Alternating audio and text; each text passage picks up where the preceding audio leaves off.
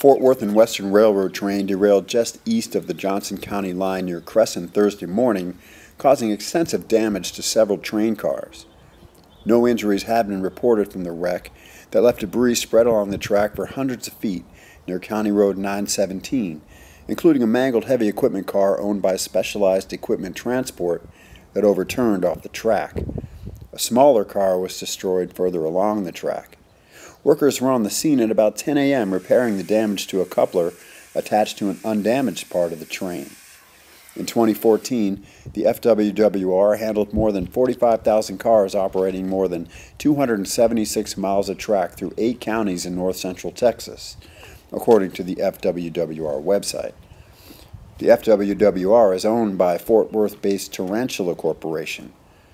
Tarantula Corporation and the FWWR did not respond to requests for comment from the Hood County News.